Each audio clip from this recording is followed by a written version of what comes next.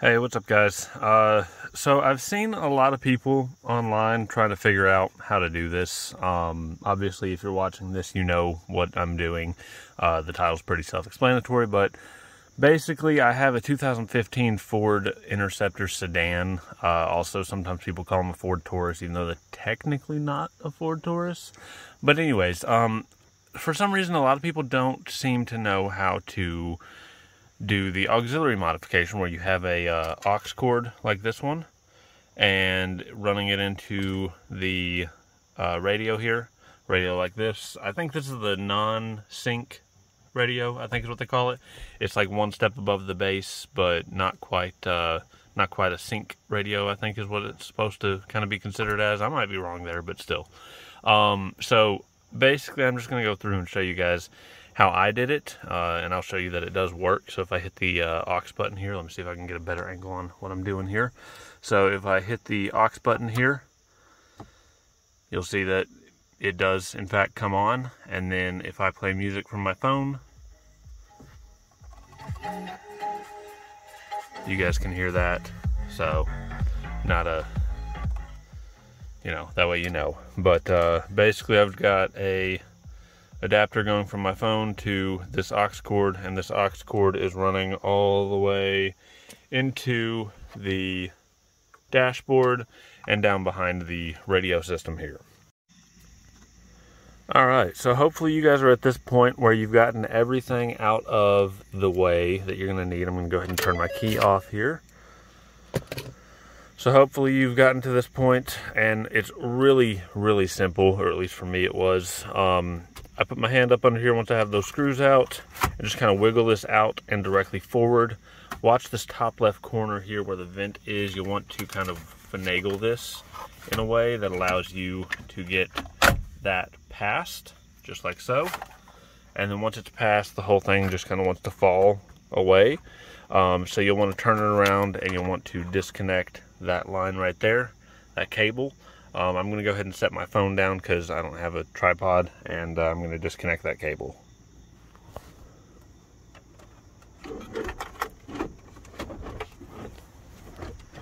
Actually, I lied. I'm not going to disconnect that cable. I'm just going to turn mine over like that so you guys can see it. Um, and then the next thing to do is take out the um, screen piece here. And you'll see there's a cable on the back side of it. Let's see if I can do this one-handed.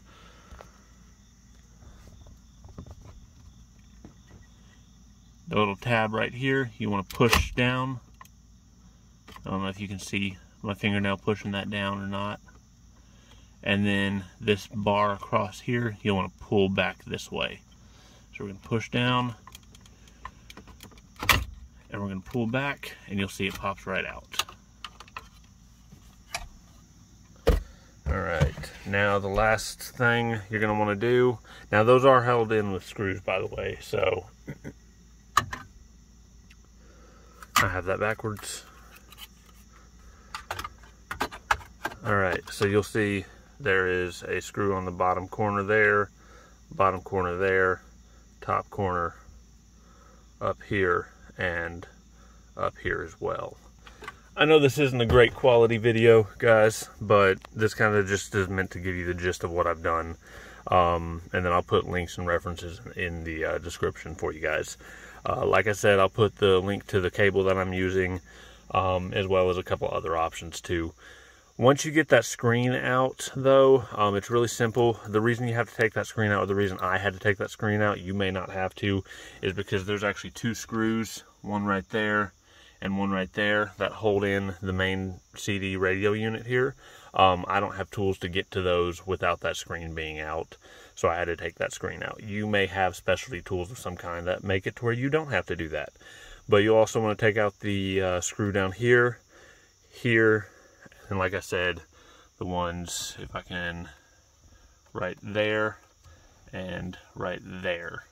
Um, and once you have those four screws out, you can pull the radio head unit out or the CD unit, whatever you want to call this. And you'll see there is a screen or there's a connector on the backside here. And you'll see my auxiliary cable is right here on the radio. All right, so here's my aux cable and it goes straight into the back of the main radio connector here. All right, so that's how I did it. It's really simple. It's almost plug and play. Um, the only thing is, uh, once you have that in, or once you have that cable in, uh, then you do have to go in with a program called FORScan.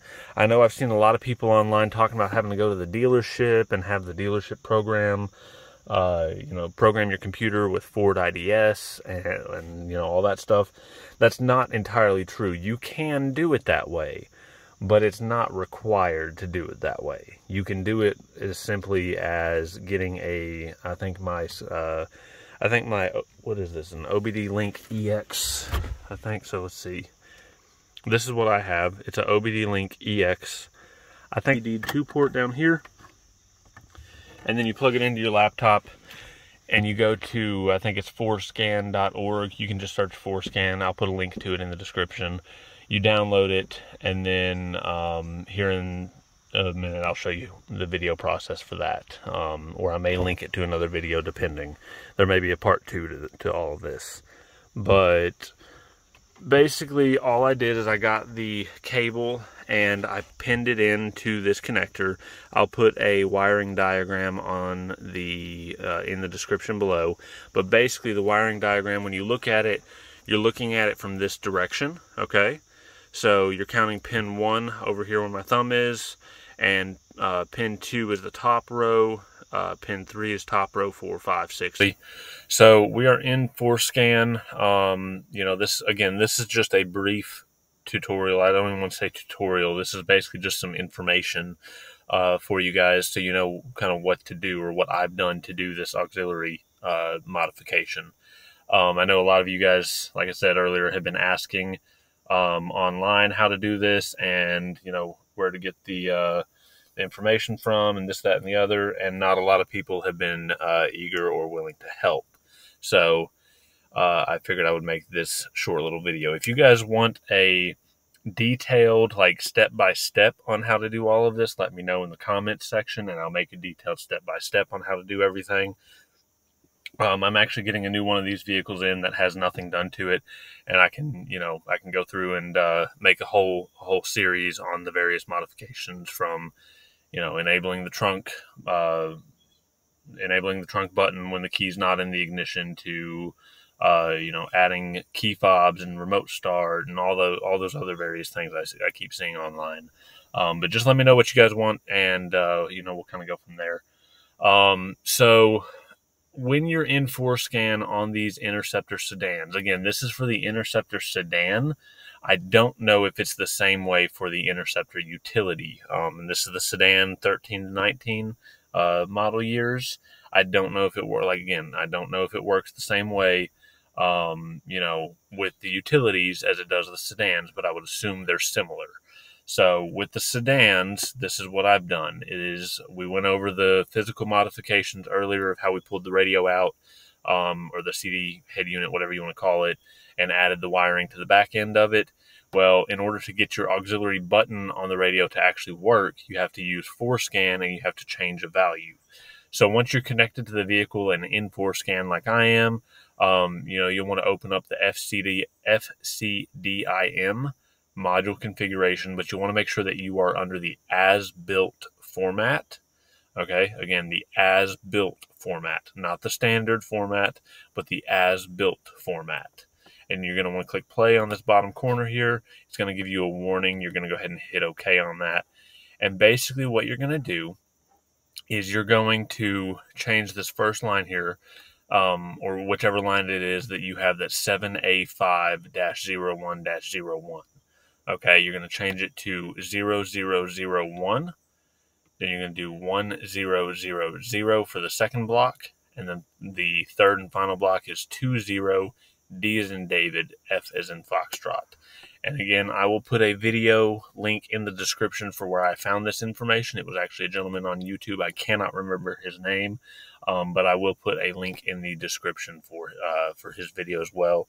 So shout out to the, to him on uh, you know providing that information on how to enable the auxiliary function. Um, so I'll put, like I said, I'll put a link to his video in the description. But that's what I did is I changed it from its original value, default value, to 0001, then 1000, then 20 DF, and my auxiliary function works now. Um, now I will go ahead and say before you do all of this to save everything. Um, I do save all to anything I ever modify as an as built. Uh, and the reason I do that is in case I screw something up, because it's really easy to screw something up in these because um, you're modifying hex code. And if you screw something up and you don't have a way of downloading the factory file or whatever you need to, um, you know, you're kind of screwed at that point. So I always make sure that I save everything or save all beforehand and then kind of go from there. So uh, once you have modified that line, you'll want to hit write all because there is no write option directly next to that value. So you'll want to hit write all, um, and then you want to cycle your ignition, and then you should be good to go. If you've done the wiring correct, you've run everything, and you've done this uh, as-built modification, then you should be good to go. Um, it shouldn't be a problem for you guys to, you know, to now have auxiliary function or auxiliary input. Again, let me know if you guys want me to do a full in-depth detailed tutorial on how to do this entire process from taking every bolt out on the dashboard and every panel um, and exactly what I did to uh, to get the wiring in there. Uh, you know, all the way to installing FORScan, getting it set up, you know, connected to the vehicle, all that. Um, you know, I can go through a full full tutorial on that if you guys need me to, but uh, you know, just kind of let me know and let me know if you guys want any, anything else. You know, uh, I've got a bunch of these cars laying around, and uh, you know, I've got plenty of stuff to do with them, so be happy to show you guys what I what I do know, and uh, maybe you guys can teach me some stuff that I don't know. So, thanks again, and uh, see you guys next time.